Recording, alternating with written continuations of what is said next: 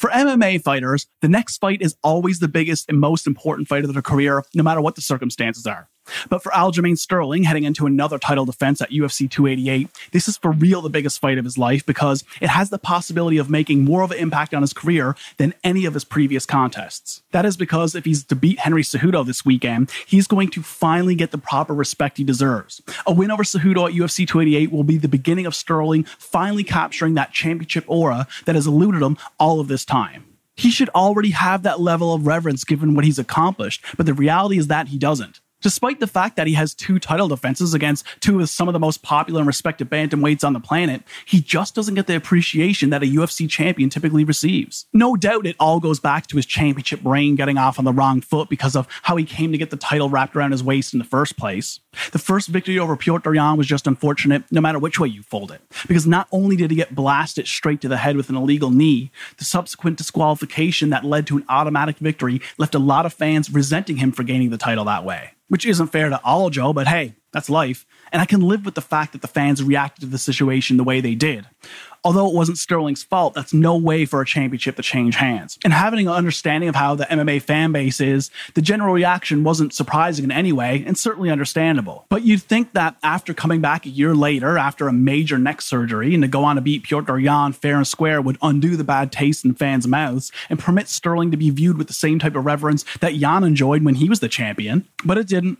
Aljo certainly came away from that fight being viewed a lot more favorable than he was prior, but he still didn't come away from that fight with the esteem of a UFC champion. Even after he got TJ Dillashaw out of there in two rounds for a second title defense, although it was his first true title defense in a lot of fans' eyes, he still emerged out of that contest without the championship luminosity. This time it was the fact that Dillashaw's long, troubled shoulder gave out that Sterling had to leave the octagon with the belt, but without the radiance of a champion. But for his fight this weekend, I believe with every fiber of my being that if Aljo can emerge victorious at UFC 288, he's finally going to get his due from the MMA community. This is large in part because he's going up against someone who's had the total opposite luck when it comes to fans' perspective.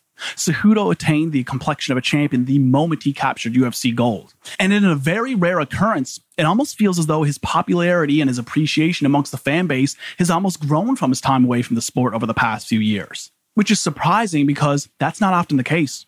Time off usually doesn't do well for a fighter's profile, but for Cejudo, the time away seems to have served him quite well. For me, the king of cringe thing, even if it was intended to be slapstick or ironic, was never funny or entertaining. But I think the time away from the sport and the calming down of that gimmick endeared him to the fan base a little bit. I also think he scored big PR points by getting credit for being a very respected coach amongst some of the greatest fighters on the face of the planet which is totally earned, and he deserves everything that he has based on that alone. So, although he's been away for a long time, I really believe a victory over Cejudo is going to be the straw that breaks the camel's back and gives way to the rightful treatment of respect from the fan base that Sterling really deserves.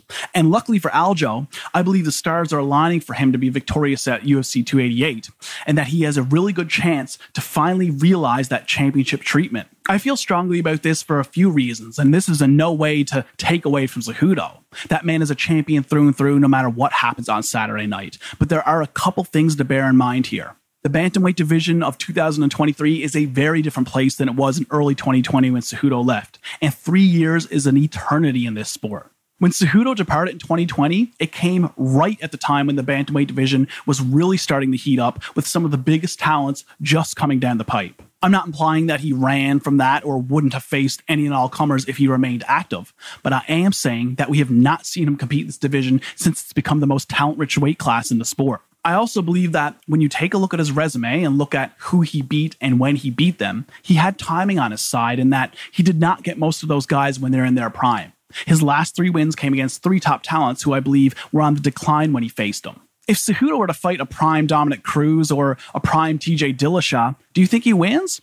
I personally don't think he does. And after being away from competition for three years, which, as I said, is an absolute eternity in this sport, to take on an ultra confident Aljamain Sterling is a very tall order. So much respect to the Olympic gold medalist for stepping up. Aljo was on the MMA Hour this week with Ariel Helwani, and in the interview, he was forthcoming about being frustrated with the fans' reaction to him over the years. He went on to talk about how even after he beats Henry Cejudo this weekend, that people are still going to be making excuses to not give him credit, citing Cejudo's layoff as being one of the excuses. But I really don't think that's going to be the case this time. If Aljo goes out there and gets the win at UFC 288, he'll not only set the record for the most wins in UFC bantamweight division history, but he'll also finally get over that hump and be fully immersed in UFC champion aura.